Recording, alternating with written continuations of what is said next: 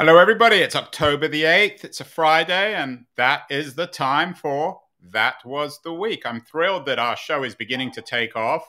We're now um, being distributed by LitHub on their Facebook page, and we're also going to be featured on my Keen On podcast on a weekly basis. So it's all very exciting, Keith, and all because of Keith, because you're such a, a mega star, Keith. Well, Andrew, I'm glad that as my agent, you are promoting me. That's all I can say. Yeah, if I was your agent, I would be very poor.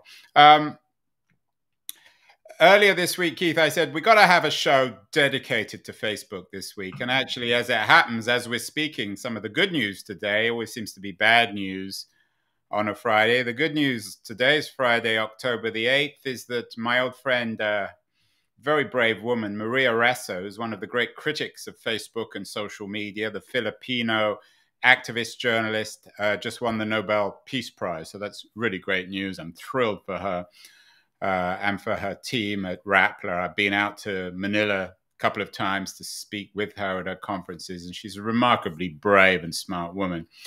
Um, Keith, I said to you, let's have a whole show on Facebook. And of course, you've written an editorial this week in defense of Facebook. Uh, is that fair? You're, as always, the contrarian, the Peter Thiel amongst us. And you're saying that we should be somewhat skeptical of the Facebook whistleblower this week.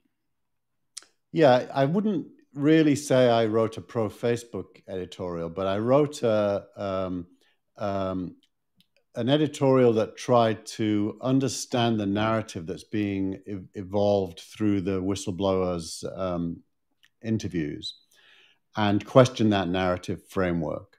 Um, if, if we had a conversation about my critique of Facebook, I'd have plenty of negative things to say about them. But, but the one thing I think I wouldn't say is that uh, Facebook is doing something wrong by seeking to have us engage more with Facebook. It seems to me that Facebook's growth and profit focus is inevitable in the world we live in and no different than the focus, let's say, of a FedEx or or any company basically that's who's, who has shareholders and whose job is to produce a profit.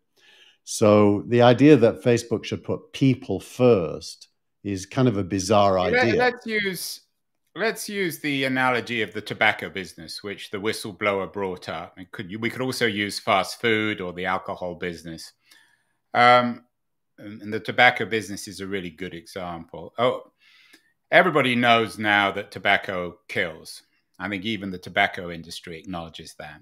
Yep. It's becoming increasingly clear, and this is one of the issues that the whistleblower brought up and that's been in the news over the last couple of weeks is that social media isn't particularly good for us, or it's certainly bad for teenagers, uh, female teenagers. At what point,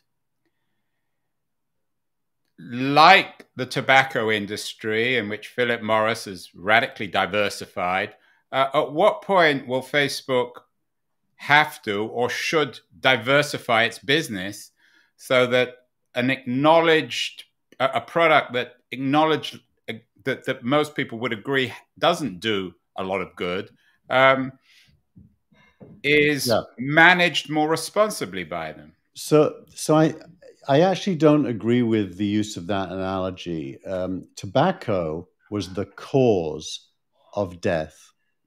It was the direct cause, and so you could fix the problem by stopping people using tobacco. Uh, and so it made total sense um, Facebook is not the cause of harm to girls. Harm to girls is rooted in. And we're talking about Instagram more than Facebook, actually, in terms Instagram of the, and Facebook. the accusations um, on they, the they damage are, not, to, to yeah. teenage girls' psyches. Yeah. Uh, well, let's just start with the positive. There's no doubt that some teenage girls on Instagram will be harmed. That's correct. But Instagram is not tobacco. It isn't causing the harm.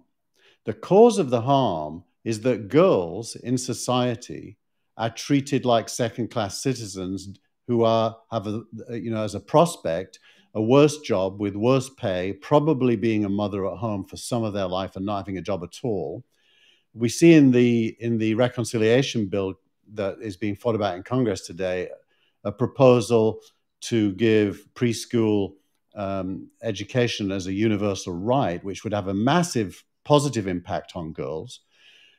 Instagram isn't the cause. The cause. So, what would be the equivalent the industry? Okay, I, I, I take your point on that in a way, perhaps.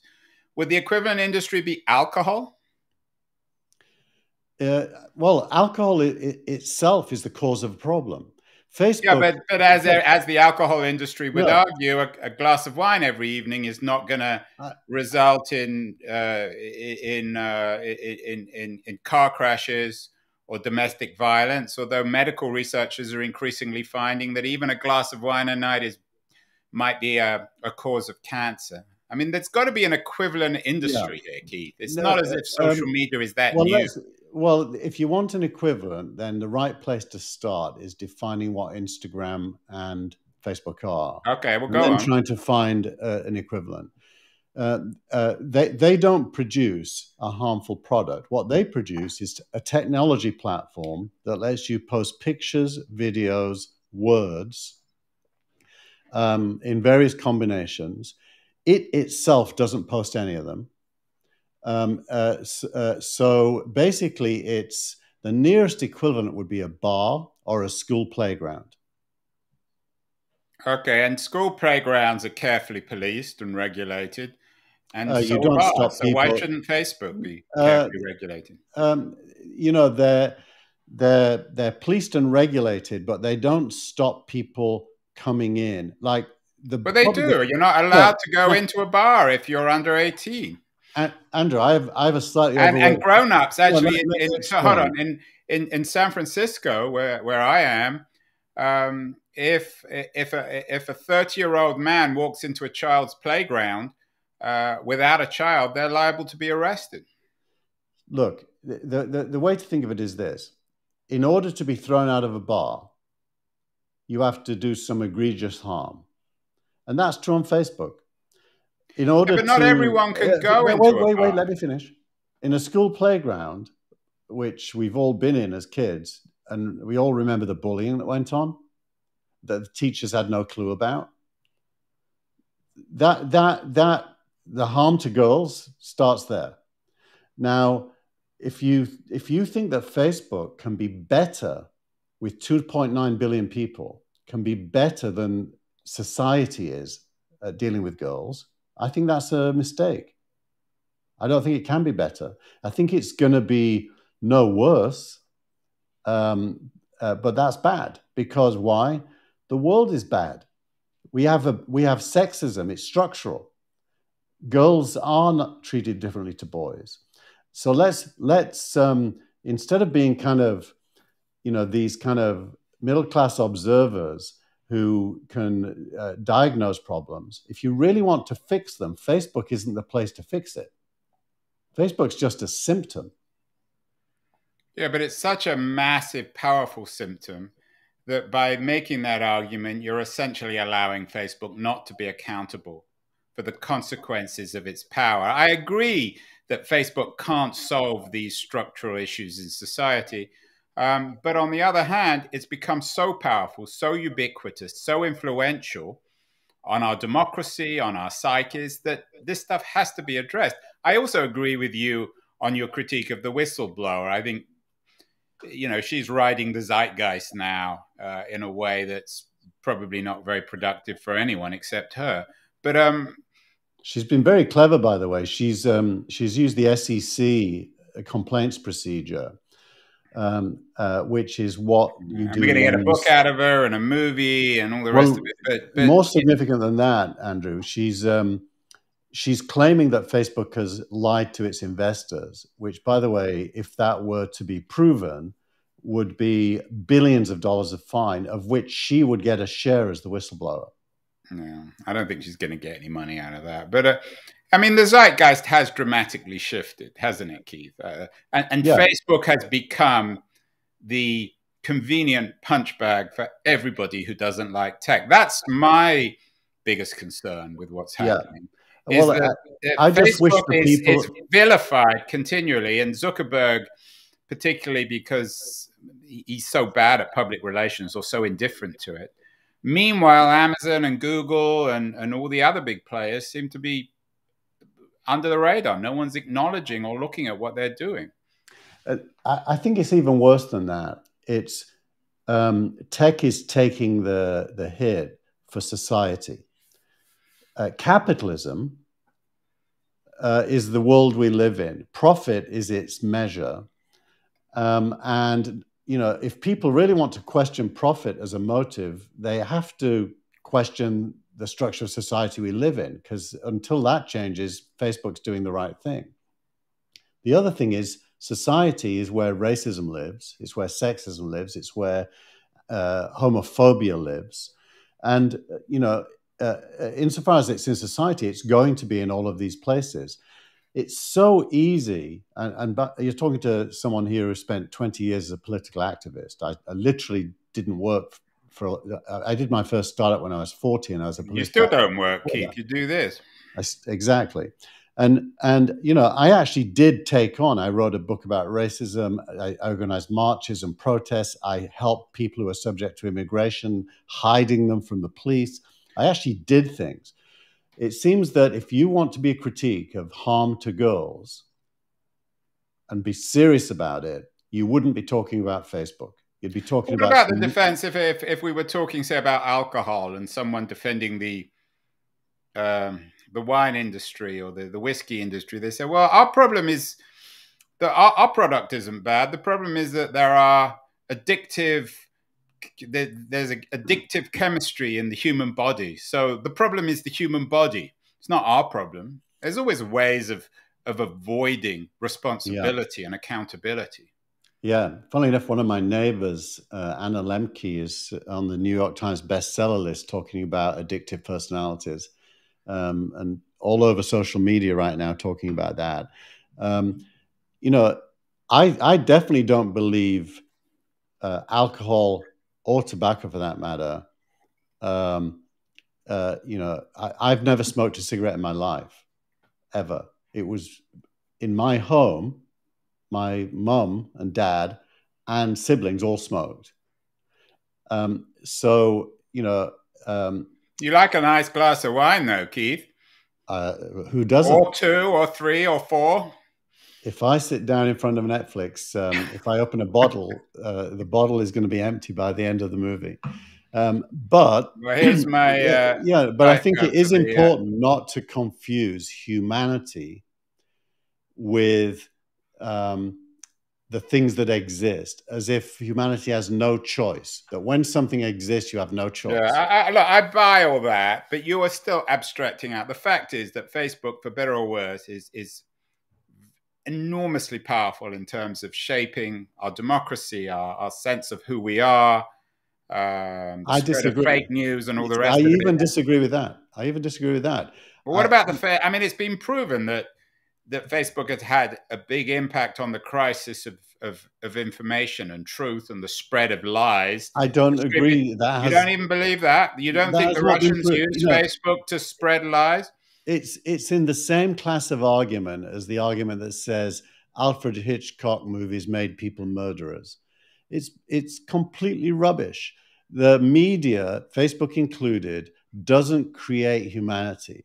Humanity creates media it's that's the right way around. Humanity creates media, and those problems and are not created by Facebook, but they exist in Facebook for sure. And I don't know about you, I actually believe Zuckerberg when he says they're doing the best they can to um, to um, deal with things that fall outside their rules. I just think it's hard. It's it's not easy. Artificial intelligence and machine learning are not yet good enough to be successful at that. Yeah, I mean, I agree with in, in, a sense, but I think it's absurd for you to be suggesting that Facebook is not damaging democracy. It's it's self evident. Everybody agrees on that. Anyway, let's move on. Everybody uh, on regulation. Um, is this whistleblower is is it going to result in this in more regulation, less regulation? Are they going to split Facebook up? Will it make any difference if Facebook and Instagram and WhatsApp were split into separate companies. Some people believe it wouldn't make any difference anyway. Um, well, firstly, I don't think it's going to happen. I, I, I don't think the law or or the um, desire or, or, the methodology that would be required to make it happen will happen. Um, the regulatory aspect here is the SEC, which is basically a way to make money, not a way to regulate, because their only instrument is a fine. So, uh, so that definitely isn't going to go there. There's a, a quite strong narrative um, about you know uh, the cracks beginning to show, and I, de- I definitely think that's correct. I mean, you know, Mark Zuckerberg is probably living through some of the most difficult moments of his life and is trying to find a narrative. Well, he looks like it. He needs to get a proper haircut, I think. Yeah. So he's trying to find a narrative that that basically helps the world understand the problem from his point of view. And the world doesn't want to listen. To yeah, no problem. one, look, whatever, even you're not sympathetic to Mark Zuckerberg. I mean, you can't be sympathetic to him. I mean, I, I would say anyone that comes with problems and accountability. No one would deny that. Even he wouldn't deny that. I, I would say uh, anyone that's built software that has attracted lots of people has some empathy for him because when you build software, the things that people do with it uh, surprise you. Um, I, I built an app called Just Me, and it took me a while to realize it, but single men, mainly from Asia, India in particular, were aggressively hitting on women on my app uh, in, in an obnoxious way. And it took me a while to realize it. And when I realized it, the question of what can I do about it came up. And in order to do anything about it, I basically would have had to close my app down. So what I ended up doing was giving building in complaint as a feature and now women could complain and if there were if there were more than three complaints against someone they were automatically deleted from the system so so i did figure out a way in the end but it's not easy to do these things especially at scale. Yeah and i mean the the comparison between just me and facebook is again um, uh, this is from um, uh, this is really good by the way. Uh, uh, the fifth estate is what um, Zuckerberg described Facebook as. He made the point that, to your point about how powerful it is, he made the point that Facebook is something new that the world has never had before, which is a supranational platform that reflects everything that exists in the world. It isn't even the media where you've got editorial control. It's something new. And the and, and he they make the point the world it was something new. I don't think it's particularly new anymore. And i think as always we're fighting yesterday's wars. Um, i think facebook's actually rather old and boring. And uh, you you have um, a link to a review of a book by um, uh, Azim Aziz uh, on uh, exponential technology, in which he talks about a new wave of technology radically changing everything much more dramatically than Facebook. And I think he's right. Yeah, this is Azeem Azhar. Um, Azeem Azhar, not. yeah, I, I, I put two things in the editorial as a contrast with the Facebook narrative. The first was this book, which is about the inevitability of accelerating growth. And accelerating growth can be a bit of a woolly term that disguises uh, what it really means. But you know, one of the things it means is massive scale human infrastructure that brings people together across borders in billions. Um, that that Facebook yeah. Facebook is not the end game there. Something even bigger than that is coming, and faster and less controllable.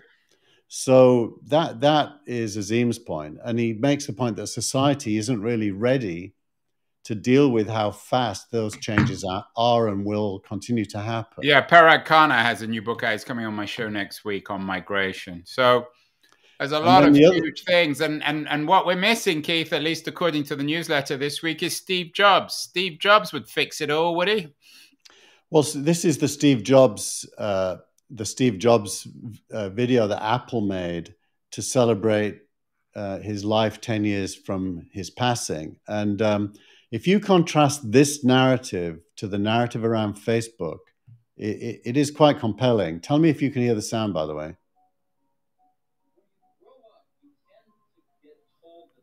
I can't hear the sound. Um, so maybe other people can't either. Uh, I'll, I'll actually put this. Let's stop it now, and I'll, I'll slot the video in for the for the edited version. But it's basically Steve Jobs talking about change and the obsessive focus on change, and that the proof of success is that people adopt what you offer them. Um, all of which I think is similar to what Facebook does. And, um, and, and Facebook is way more successful at Apple measured by the numbers of people that adopt it. Uh, yet Jobs is a sympathetic character and Zuckerberg isn't. And, that, and that's because Zuckerberg's paying the price for us. Like Jobs never paid the price for us. If, if a bad person used a Mac, you'd never know. Um, but if a bad person uses Facebook, it's there for all to see. So in a way, whereas Jobs didn't pay a price for us, the human beings, Zuckerberg does. He gets he gets punished for for for allowing us to exist. I mean, um, he gets punished for allowing us to be as we are, which is dishonest and nasty. Yeah. Well, uh, many people are dishonest and nasty. I hope I'm not one of them, and I know for sure you're not. But there are many. But I'm are. not on Facebook. Are you on Facebook? I am on Facebook mainly I'm not for on Facebook family or reasons. Instagram or WhatsApp. I'm a conscientious objector to all three. Yeah, no, I am. But anyway, the Jobs movie is great. I'll, I'll, uh, the the actual full video is in the newsletter, so people can watch it there. Well, what else is happening this week? We've got Facebook. Steve Jobs can't come back to save us. What about uh, innovation for employees and creators? You're saying that Silicon Valley is once again revolutionizing work. Well, uh, you know, work work is uh, interesting. Um, I, I, was at dinner last night, and one of the people at the dinner was somebody who works at a big Silicon Valley um, creative company, let's say, and talked about the fact that they have a thousand. Give us the name of the company, at least, Keith. Adobe. They have a thousand seats in the office, and only about fifty of them are full every day right now. Uh, and so th- things are changing, but the focus of this story is actually changing how you reward employees with stock.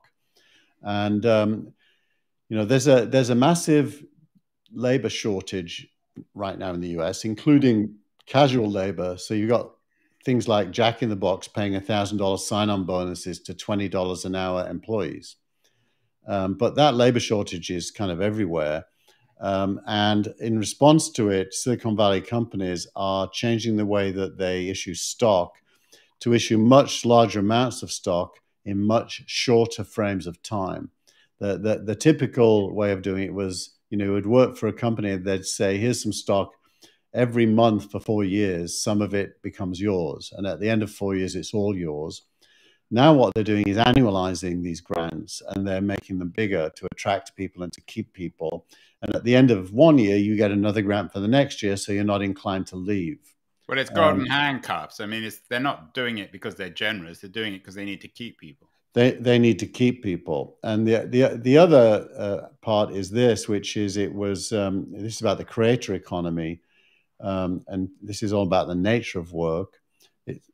Apparently, YouTube supports the equivalent of nearly 400,000 employees through creator payments which is uh, amazing. It's contributed 20.5 billion to U.S. gross domestic product last year, which is a, a not inconsiderable number. Um, so, um, you know, both the nature of work is changing, and um, given that you don't have to work for a company anymore if you're a creator, the companies have to make it attractive for you to want to work for them. Uh, so that's the the two the two things that uh, got my attention this week. And Africa is rising again. It rises every week, Keith, and yet we never see it. What's happening with Africa this week? Uh, you know, I've got a little sub theme that I pay attention to to do with Africa, just because I find it. Um, well, firstly, Africa is going to become a, a massive middle class economy over the next 20, 25, 30 years. And most people don't realize that. Um, and the beginnings of venture capital uh, are being deployed there. So this is Google putting $50 million into a fund focused on Africa. Uh, this is something called the Impact Africa Network launching with $25 million. And it's just more evidence that external money is beginning to understand that Africa is important and interesting at the same time. I mean, Africa's demographic explosion is interesting. I'm not convinced it's going to be the next middle class. I mean, we've heard that for the last 25 years, but we'll see over the next 25 years, Keith. What about startup of the week? As long as it's not Facebook.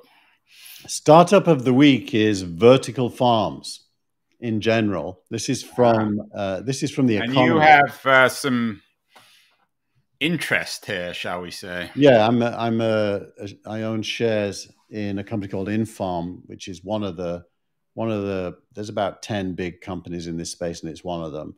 Um, uh, they're in they're in Europe. Most of the others are here in the US. And this is a story from The Economist about how agriculture is changing in response to urbanization and how you know both the way we grow food and the cost of food and the quality of food are all going to improve in good direction because of that. So I thought it was uh, worth highlighting. Although coming back to the Facebook theme, or your argument at least about Facebook, we're not eating in America. At least we're not eating any better. I mean, people are eating worse and worse. Obesity is more and more of a central problem. So, uh, so, so these green castles in the sky, to borrow the headline, they're the kind of reverse of Facebook. Do we need regulation to insist that people eat their veggies, Keith? Well, there's a lot of regulation around food, actually more than anything, because of the possibility of poisoning people and such. Uh, so there are there are a lot of regulations around food already. Um, it's it's um, you know, it seems to me that technology technology changes everything, and the word change doesn't imply a value judgment, does it? It's not good or bad; it's just change. Well, food is also the tweet of the week, and food, labor, it all comes together. Keith, we've we've we've done our homework this week in terms of building a coherent story. And the only thing that the tweet of the week doesn't have is Facebook. So, what's the tweet of the week? The tweet of the week is to do with um, a restaurant uh, called Cala. Uh, and Ian Hogarth says it wasn't until the lockdown ended and Cala customers could visit the restaurant in person that the reason became clear. Instead of a team of chefs, the food is cooked and assembled by a robot. And it links through to uh, an article on Sifted, which is a great publication in Europe that shows how, how that works. And I included it because, um, you know, we talk a lot about the change of the meaning of the word work driven by automation. We've talked quite a bit about universal basic income, which was in the news this week with um, Andrew Yang forming his own political party. And it felt to me that uh, restaurants using robots to prepare and deliver food, um, while not maybe the key driver of these trends, is just another example that it's real. Yeah, and the tweet says it, it, means that the company can make significant savings on real estate costs. Uh, but of course, the real issue here is the future of labor and jobs. Uh, whether people want to work in restaurants, it's not the best kind of work, it's not the best paid kind of work, but a lot of people need that kind of work. So that's a subject for another show, Keith. That was the week of October the 8th, 2021 keep well, keep using Facebook, keep being the one person who's willing to defend Mark Zuckerberg. You may get a call from him, he'll offer you a job, and he may even give you some equity too, Keith. Maybe what we do next week is we'll talk, uh, do another show, which is more Azeem Azhar's point in exponential, which the restaurant example is a good example well, of. Maybe we can get Azeem uh, uh, on our show. He's a we should guy. Probably get him on, on my show. show. He's a good. He's very coherent, and he'll add a third wheel to our game, Keith. And talk about the social consequences of technology, because technology is inevitable, but the social consequences are where we get to define how we react to it. Well, maybe, note, maybe Keith, maybe not. We'll talk about it next week. That was the week for October the eighth. Keep well, keep thinking, keep aggravating people, and we'll be back next week. Arrivederci.